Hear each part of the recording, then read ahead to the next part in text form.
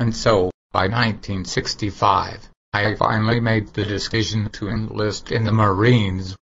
I had grown weary of taking college courses and working dead-end jobs. Plus, I wanted to follow in the footsteps of my father and my brother Orville, who had joined right out of high school. Didn't Uncle Jed also join right along with you? That's correct. Dad took both Jed and I down to the recruiting station, and we enlisted together. As for Greg and Bill, neither of them had a single military bone in their body, and they avoided it completely by staying in college. It was very hard for us both, when he left for boot camp. Nearly every Marine was being sent to Vietnam, and I was worried that I would never see him again.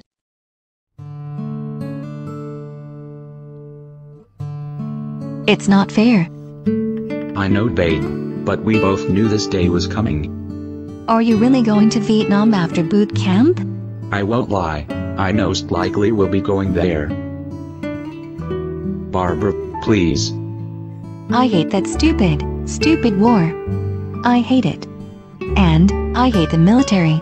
Barbara. They're taking you away from me, Richie. It'll just be one tour. If I do go, they say I'll just be there 12 months. Richie, a lot can happen in 12 months. You'll be. You'll be going into a war zone. Barbara, look at me. I'll be fine, I swear to you. I'll do my duty, get out of there, and come back home. You make it sound so easy. It's gonna be hell, I know that, but nothing will ever come between us, Barb. Not this war, not anything. And I'm promising you, right here and now, that I will come back. You better. That's an order.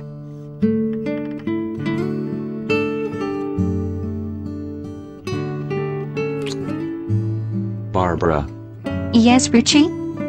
smile for me. Now that's how I want to remember you. That's how I want to think of you, when I'm out there, blasting away Viet Cong. I love you, Richie. I love you too, Barbara. So how did you manage being so far apart from each other? Oh, we managed. It was hard not having him there, but we kept writing each other all the time. And that's really what kept me going while I was in boot camp, and then infantry training, and then later in NAM. No matter how down I was feeling, whenever I got a letter from her, it brought me right up again. But, as proud as I was of your grandfather serving his country, I still had this deep down resentment of the war. And I began to find myself hanging out with a whole different crowd.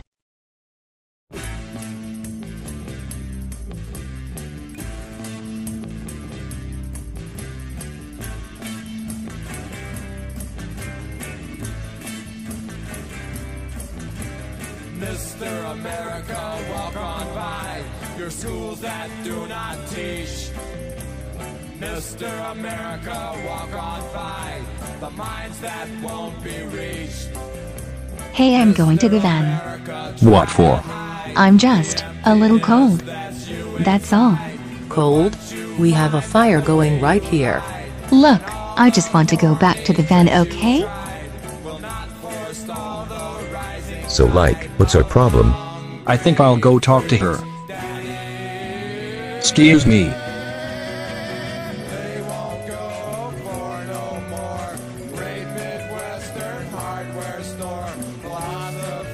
Hey Sunshine. Mind if I join you? Go ahead. So how come you just up and left?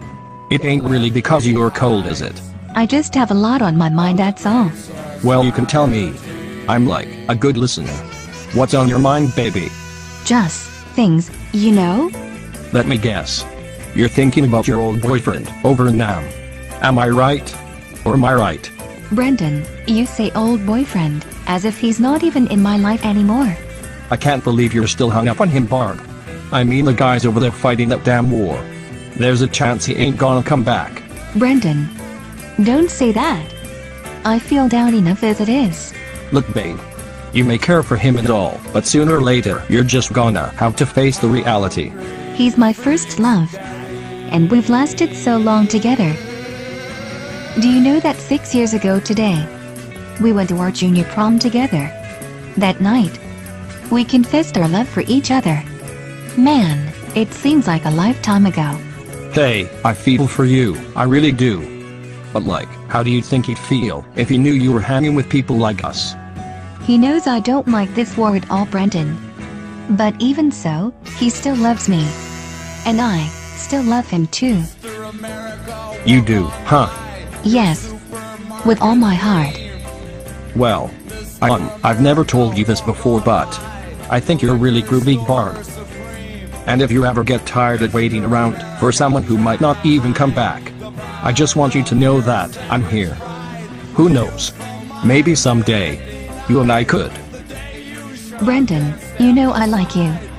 But I'm afraid the answer is no.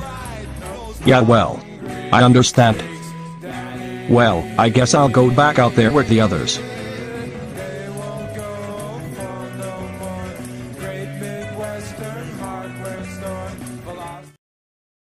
And despite everything, we continued writing to each other. As long as I kept getting letters from Pop Pop, I knew that he was still alive over there, and there was still a chance he'd make it home. I tell you, the two things that kept me going in that hellhole was one, receiving mail from home, and two, the fact that my brother Jed was serving in the same unit.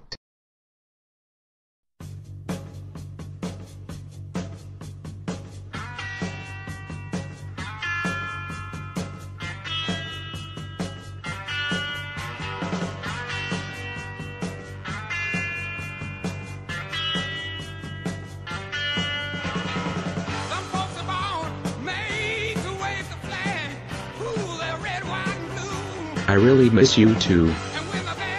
What you got there, Rich? Another letter from Barb. Yeah, and also one from mom and dad. How about you? One from mom and dad, and one from Juanita. That's nice, Jed. So did Barb send you a new picture? Yeah, check it out.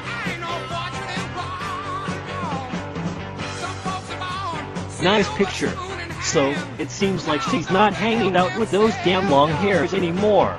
Yeah, she says that crowd just wasn't for her. So you gotta ask her to marry you, and you get back to the world. Yes. Really? Man, that's great, bro. I'm thinking of asking Juanita too. Just don't tell her though. And you don't say nothing to Barbara either. Deal. So 68 was also the year you returned home, right? That's right. No heroes welcome really, but that didn't matter to me. All I cared about was getting back to my family, and back to your grandmother.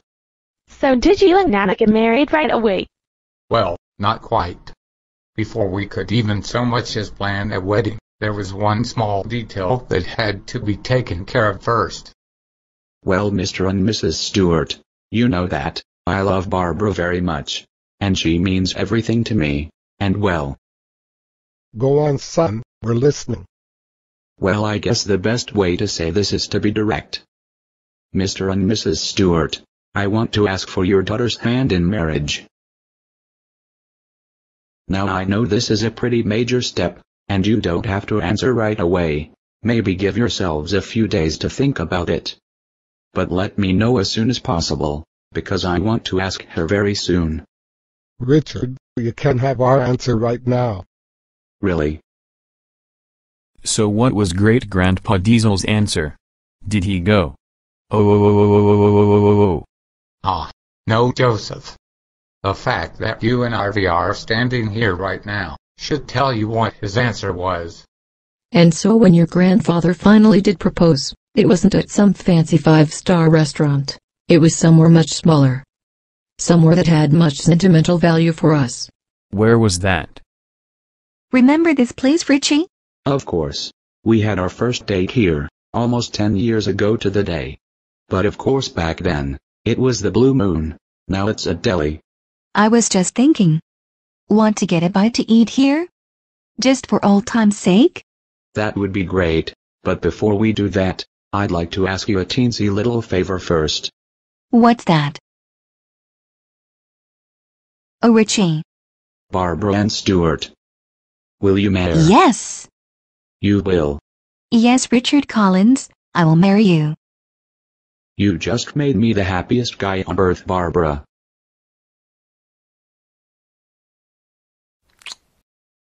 I love you. I love you too.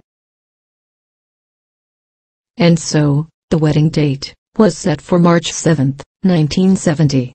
And Pop Pop had all his brothers as groomsmen. That's right. With Chet as my best man, he and I were always really close. And who were your bridesmaids, Nana? Well, my maid of honor was none other than your grandma Mildred, and of course my sister Gladys, and a couple of other old friends that I haven't seen in such a long time. I do. I do. By the powers vested in me, I now pronounce you husband and wife. You may kiss your bride. And now, without further ado, I present Mr. and Mrs. Collins. Go in peace, and God bless.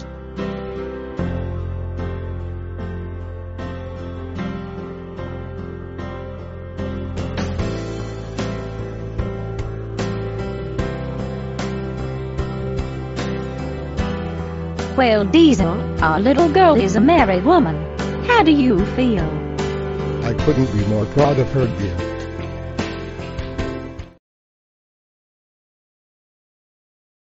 Well, Dorv, I suppose I should thank you for telling me to go up and talk with Barbara all those years ago in high school.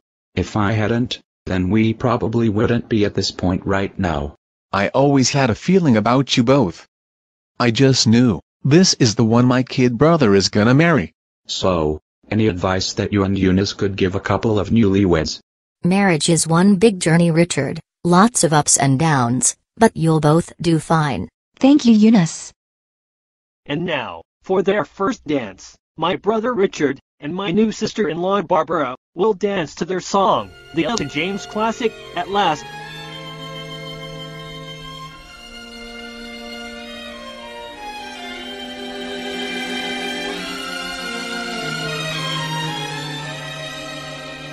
So, what does this remind you of? The night of our junior prom at Dino's restaurant. How could I forget? It just seemed like yesterday. And now, here we are, nine years later. And like you told me all those years ago, it's only just starting. That's so nice. I bet your wedding was really beautiful. Oh, it was. That day was just so perfect. I bet Grandma looked really nice too. That reminds me, Kayla, I also kept a picture of your grandmother and me on my wedding day. Would you like to see it? I'd love to. This is a great picture of you and Grandma. Thanks for showing me, Nana. It's yours. Uh, no, I couldn't take your picture. No, please, sweetheart. I insist. I want you to have it. Well, thank you, Nana. I really appreciate it. Well. What are you all up to? A little storytelling. Hi, son. Yeah, your mother and I were just relating to the kids the story of our courtship. Oh, that's nice, Pop. It looks like someone couldn't quite hang. Yes, little Ivy just now dozed off, not even a few minutes ago. Well, we'll go ahead and take her upstairs to bed, Pop. Ivy. Ivy, honey, it's mommy.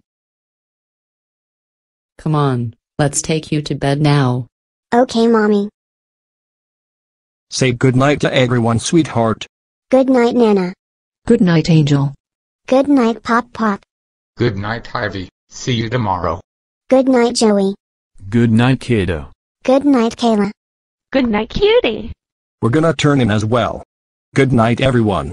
See you tomorrow, Stephen. So, where did we leave off? I believe at the part where Nana and I had just got married. So, did you have kids right away? Not right away. We waited a few years before having children. I had started nursing school, while Pop Pop was both working and attending college courses.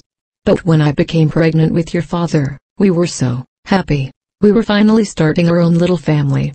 Wasn't Dad almost born at an Ike and Tina Turner concert? Are you serious? Well, not quite. Pop Pop and I did go see Ike and Tina while I was nine months pregnant. We even met them backstage after the show. I actually ended up going into labor, right there. Well, I must say that was quite a show, and my wife and I thank you for allowing us backstage. Yes, we're really big fans, Mr. and Mrs. Turner. Well, thank you. It's always a pleasure to meet the fans. And it looks like we have a future fan there. Oh yes, nine months along. This little person is ready to come any day now. Congratulations, you too. Thank you. Thank you. Well, we must get going, but it was nice meeting you too. It was really nice to meet you as well. We'll catch you guys next time you're in town. That'll be great. You take care. So, how did you like meeting Ike and Tina? It was incredible. Thank you for getting those backstage passes, honey. Anything for you, dear. Oh, Barbara, are you okay? ooh baby. That sure was a big one. Is it another contraction, dear? I just need to sit down. Okay, let's get you over to the couch. Come on.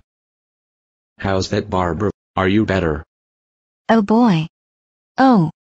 Richie, I don't think that was just a contraction. I think. I think this baby's coming. Are you serious? Come on, dear, let's get you up.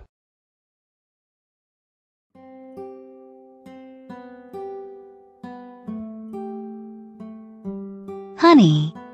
Look what we made. He's the best I've ever seen. We did a great job, didn't we? Yes, we did. Look at him. He's already so alert. He's gonna be a smart one, I can already tell. So, what name have we decided on for him? Well, of all the boy names I had picked out, I kind of like Steven the best.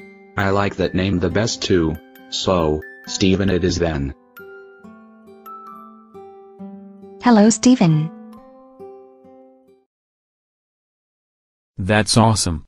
And of course, Uncle Jed was quite beside himself when we told him that Jedediah was Stephen's middle name. And not only that, but we also asked Jed if he would be Stephen's godfather. So, what was Dad like as a baby? Very curious, very active. And he was always smiling. Yes, he was. Your father was a very happy baby. You should have seen him when Howard was born, and we brought him home for the first time. Stephen was only 14 months old, just barely learning to walk. But when he first saw his new baby brother, his protective big brother instincts immediately kicked in. Stephen? Come to mommy, I have a big surprise for you. Come on, Stephen. Let's see what mommy wants to show you. That's a good boy. Honey, why don't you set him up on the couch so he can see better? Sure.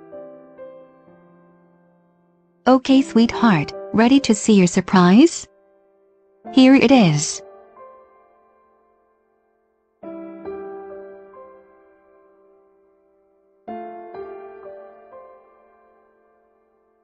Look what mommy and daddy brought you. A baby brother. Stevie, say hello to Howard James. His eyes are open now. Let's put the two brothers next to each other.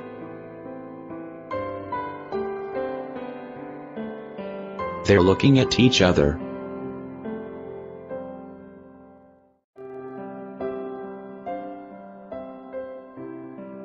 Yes, Stevie, that's your baby brother. That's Howie. Oh, my three men. I love you all so much. And we love you too. That was wonderful, Nana and Pop Pop. Thanks for telling me your story. Anytime, Kayla. I told you my grandparents had quite an interesting life together. Well, it's getting to be almost 11. I'm gonna drive Kayla home now. Well, it was good to see you again, Kayla.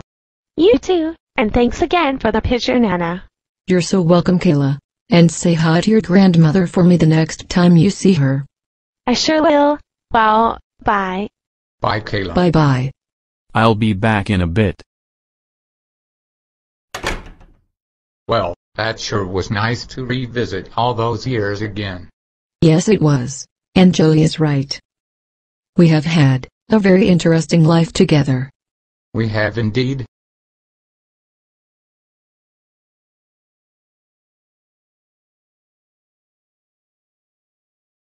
Vixen, look at this. We got a postcard from Richard and the family from Disneyland. Oh how nice. Let's see what it says. Oh look, they send a picture too. My goodness, the boys are getting so big. Yeah, they sure are. It seems like only yesterday that little Happy was born. So what's the postcard say? Hello mom and dad. Greetings from Disneyland. Barbara, the kids and I are having a blast over here. I wish you could be here with us. Anyway, we love you both, and we'll come by and visit very soon. Love always. The Collins family.